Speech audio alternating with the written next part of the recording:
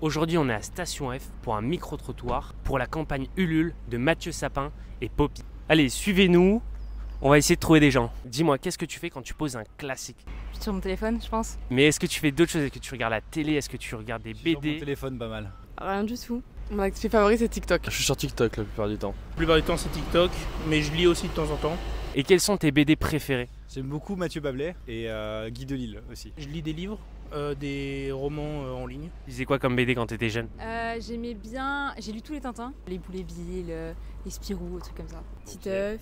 Tintin, Astérix, euh, des classiques comme ça. Je sais pas, Astérix, Ducobio, des choses comme ça. Mathieu Sapin, est-ce que ça dit quelque chose? Ça me dit un truc. Non. Je connais pas. Pas du tout.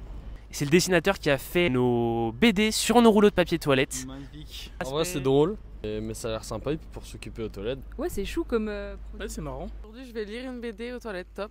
Est-ce que tu le reconnais? Ouais, ouais, je- j'ai déjà vu ça quelque part. Je t'offre en même temps la petite BD de Mathieu Sapin Ah, sur nos rouleaux de papier gentil. toilette Poppy. Nickel. Je Tu- penserai à vous. C'est des petites blagues, des petites histoires. Merci beaucoup.